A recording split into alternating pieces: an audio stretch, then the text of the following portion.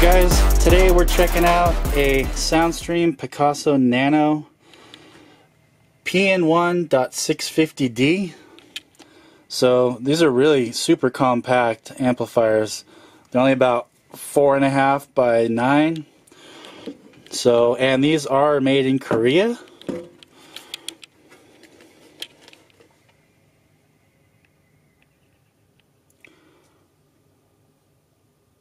Made in Korea.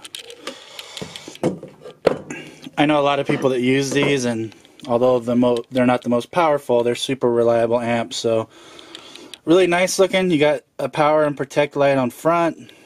There's no lights on this. It's a blue half spider, but nothing lights up. And on this side, you have high level inputs, low level inputs, gain, subsonic, bass boost, low pass, and your remote input. There's the remote knob. And on this side, we have huge speaker outs. Those are like 8 gauge speaker outs and then 8 gauge power inputs. And two 25 amp fuses. So let's say the specs on this are 650 times 1 at 2 ohms. This amp's only 2 ohms stable. And 400 watts times 4 ohm.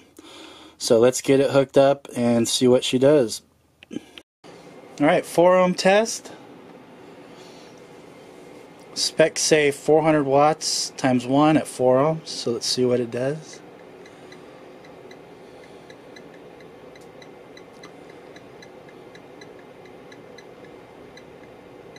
Alright, not quite there. I'll put the results up on the screen now.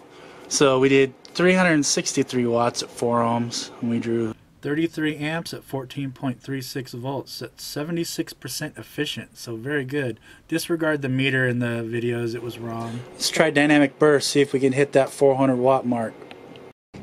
Dynamic RMS 4 ohms. See if we can hit the 400 alright and we do so 415 watts at 4 ohm. So spec said 400. So that's good. Alrighty, let's go ahead and get ready for the uh, 2 ohm test. Alright, 2 ohm test, and we are looking for 650 watts.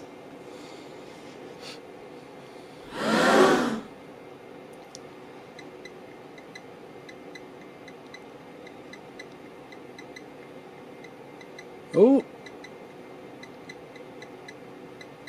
Very close.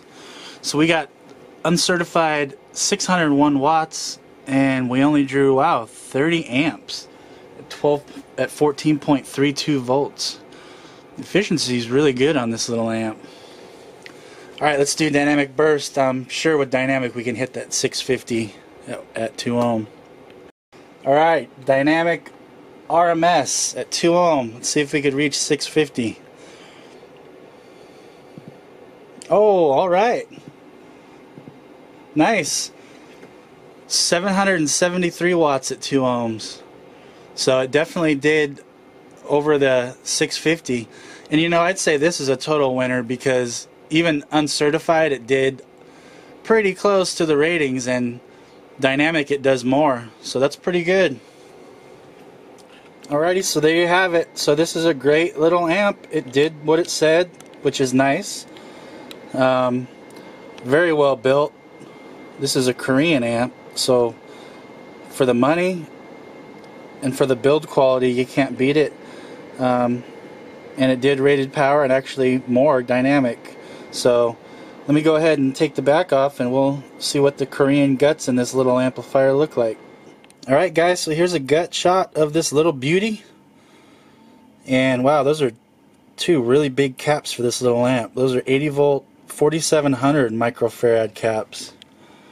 But excellent build quality. So very cool. Alright guys well that's it for this video. I hope you found it helpful.